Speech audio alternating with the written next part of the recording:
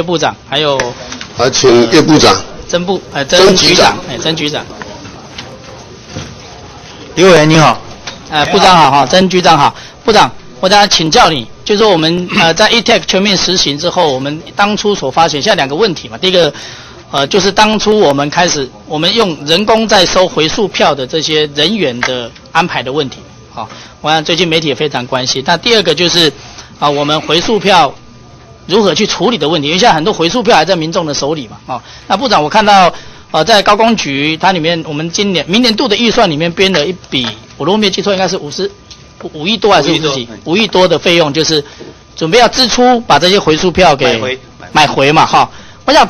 当买回这个，当我我们这这个是基本上是赞成的哈、就是说这让民众，但是我们认为买回只是一个管道之一啦。但局长哦部长，我们请教一下，站在消费者的立场，有没有什么比较又除了买回的选项之外，有没有提供他们其他的选项，可以让他们比较便利的来处理他们曾经花现金去买的回数票，包括啊，是不是啊？当然转让你们管让管不到，他们反正就可以转让。包括说，是不是可以到他如果愿意的话，哈，愿意把这个划为是 e-tag 储值这些都可以考虑。啊，部长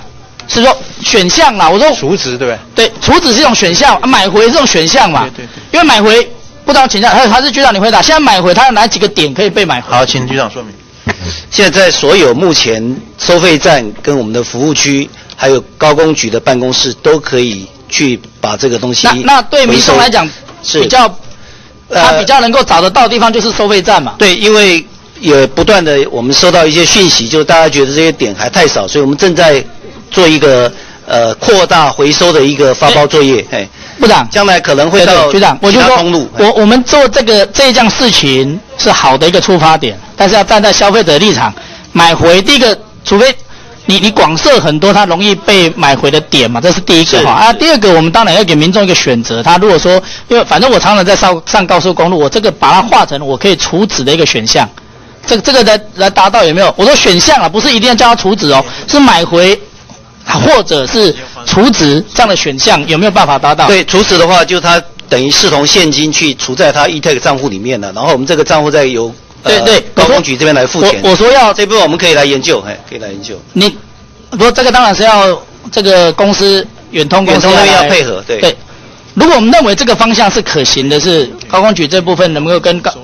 远通来来处理这一点。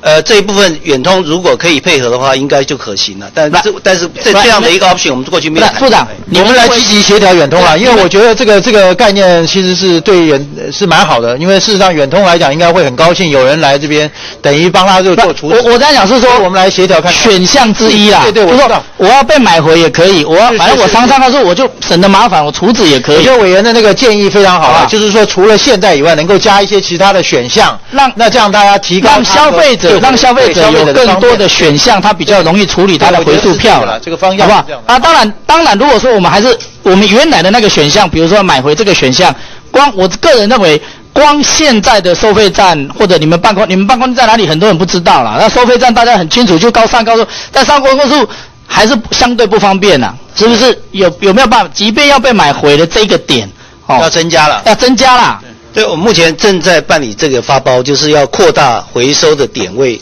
那这里面其实有涉及到有一部分的责任跟专业，因为那个东西可能会有伪票的问题，对啊所以要要有一些辨辨识的能力跟训练了。所以这部分我们可以跟远通进一步来谈，因为过去并没有谈过委员所建议的这样的一个 option 这样的一个选项，我们我们可以来跟他谈。哎好吧，或或者跟，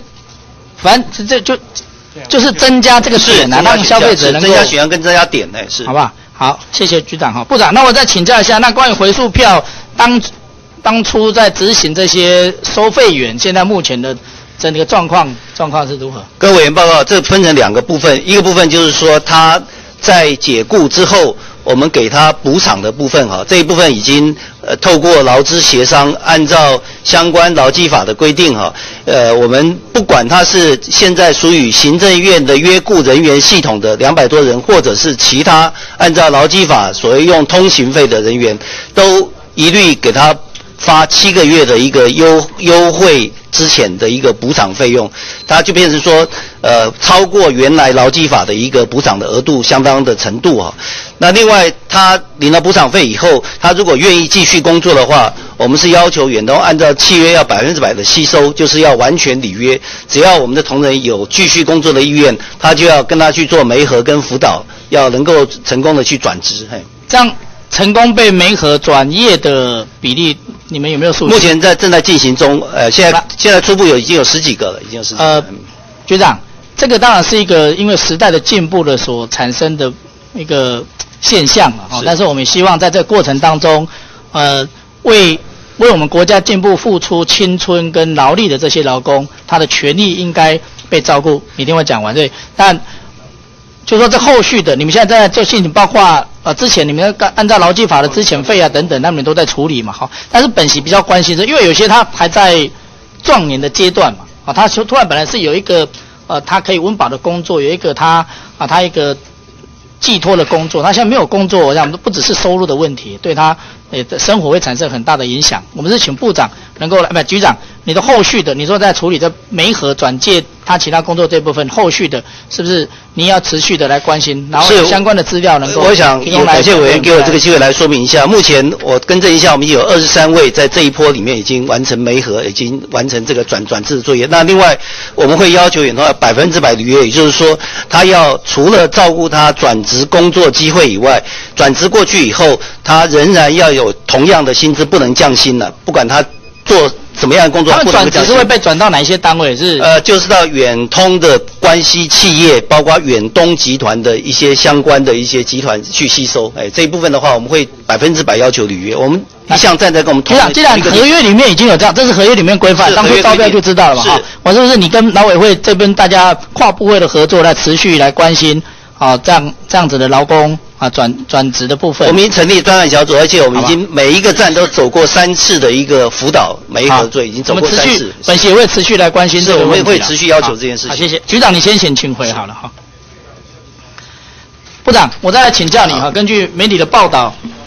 啊，在昨天啊，第一个包括高高铁的误点哈，那听说台台铁好像昨天也发生过两个意外，不过那当然是意外，包括老老先生或汽车开进去的意外哈。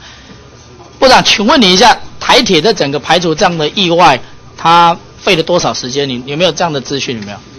台铁局的副局长有在现场，是不是请台铁局副局长说明？跟委员报告哈，因为他这个是外来的死伤事故哈，那依照程序的话，必须要检警单位他要先进行收证，收证然后清理现场完了以后，要经过检察官的同意啊，才可以放行，我们才能够恢复正常行车。啊啊对，所以整个流程大概，我们大概那个要看这个呃，一般来讲，昨天的话，第一个事故因为它是有死亡了，所以那个花的时间很长，从下午三点一直到七点多啊才完成。那另外一个事故是闯机车闯平交道，那个他因为是马上送医以后，所以那个时间是比较短，大概不到一个钟头，一个钟头左右就放行了。所以他这个时间要看事故的严重度，还有还要看检察官的一个情况，警察的收证情形。一般来讲，大概都差不多要一两个小时以上。一两个小时可以，你在你们的作业程序里面，一两个小时可以完成这样子的程序。呃，要看它事故地点，还有时时段的。那一般平均下来差不多是这个时间。好，部长，本席之所以关心这个问题，是因为啊，台铁对啊它的重要性当然不亚于高铁啊，好，有很多人在啊搭乘的一个最主要的一个交通工具。哦，那我们也因为外界对台铁当然多所评语了哈，对很多的。啊，在这个在这个庞大这么庞大的机关哈，包括它的准点率啊等等啊，服务的品质，那也包括在遇到这样的紧急危难的时候，它能排除的效率啊，啊排除的效率能够比较，我们要求它能够要能啊迅速的排除这样的危难啊，让交通能够赶快恢复正常啊，部长，所以也请你。要来持续的来关心这项目，是是是，当然是这样这样的一个问题。我想，我觉得这里面可能更重要，我也会请台铁局还有我们整个交通部呢，就这个民众啊哈，经过平交道各方面的这些应该要注意的安全，不要乱闯平交道这个方面的宣导，我觉得要持续的在加强。啊，部长，部长，那本席再来啊来请教你哈，本席长期来关心的就是关于花东铁路电气化现在的整整体的进度，你掌握的状况我况？们那个事实上已经有段呃有一些不同的路段在已经在测试通车之这个测试中了哈，已经有一些路段在做了。原则上呢哈，我们的目标还是一样没有变，就是明年的六月底之前会通车营运通车。那明年六月底以前，这是你们目标，对，我们现在是非常乐观，应该六月底之前可以完成是完是整成全线的全线的通知。唯一的一个例外就是那个普悠玛号啊，因为它要经过所谓的 IVMV 啊哈，还有日本的一些什么样的验证的程序，那验证结果会是怎么样？这个我们没有办法把握，就是哎其他所有的都是 OK 的。那部长，但是我们华东铁路电气化开通之后，就是要走不用马号啊没有没有，我的意思就是其他的电联车啊，还有其他一些自这个自强号啊什么车，通通都是电车啦。只是说我说普悠马号，因为涉及到并不是我不能走，而是有一些国际认证的一些问题，一定要这个要要这个认证程序走完。但是有可能呃还是一样，六月底可以做完，就是这样。我部长你这样这个不是超支在我。你你今天提的一个是一个新的可能性呢，比如说在六月底，如果这个认证是没有下来，普悠玛号也还是有可能，我们目只能暂时的跑其他的电联车，但是不是新的普悠玛号的的是有是电车嘛？但是原则上我们也是希望能够六月底通通都弄完。但是呢，这里面真的涉及到国际的认证，这他们跟我讲，我们请副局长来说明一下。跟委员报告哈，刚刚部长说明的是，就是说所有的电力列车都可以进去，没有问题。那普悠玛因为它有一个程序啊，我们要经过 IVN 那边。那现在我们跟铁公爵正在协调哈，就是说，呃，部长承，就是说我们我还是照部里面的政策，希望赶在六月底以前让所有的猎人能够进。但是他验证程序最少要三个月了，最少要三个月，所以我们是尽量在赶这个部分哈。泰鲁格号可以？泰鲁格可以先进去，没有问题。啊，泰鲁格号可以泰鲁格可以先进去。新的车还是可以。对，他进的车它，因为他有一个 IVN 那边验证程序啊，部长那那本席要再再请教一点。好了，我们就六月底，保守估计六月底它可以通车。那台北到台东，